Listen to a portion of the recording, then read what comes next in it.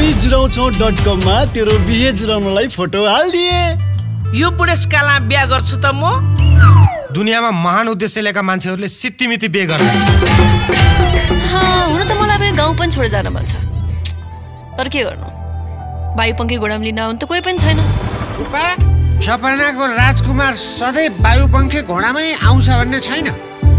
कहिले कहिले रातिमा यसरी टहलिँदै पनि आउँछ। म यो गाउँको जनता बनाउँदा भेडाहरूलाई राम्रोसित चिन् खातामा पैसा आएन बिनाजु? कतै बाबुहरूको झुकेर आएको त होइन नि। होइन होइन। यो पैसा हजुरलाई नै हो। हात छातीमा। भोट हात्तीमा। यिनीहरू अहिले पनि ऐचो पैचोमा विश्वास गर्छ। त्यसैले यिनीहरूलाई एउटा हातले नोट दिने अनि अर्को हातले भोट लिने।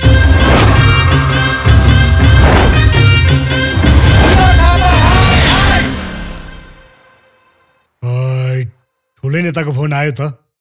मैले राम्रै पद जितेँ कि क्या मामा?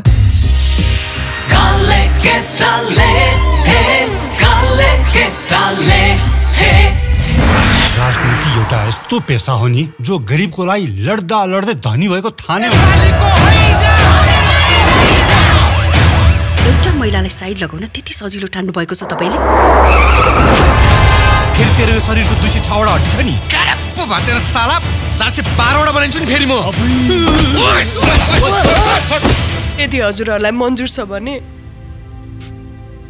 म गर्छु उहाँसँग बिहे।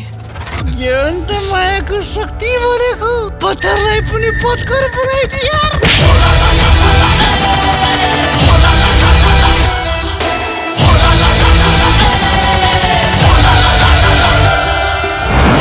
जे जस्तो भए पनि उहाँ चुनावमा उठ्नै पर्छ।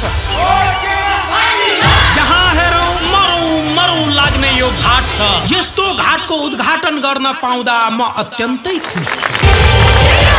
यो युवाहरूलाई खाडीमा मर्न पठाएर देशलाई लुट्दै काट्टो खाँदै बस्ने तिमीहरू जिउँदा लासो। त्यसको पोलिटिकल करियर त म यस्तो ध्वस्त बनाइदिन्छु नि।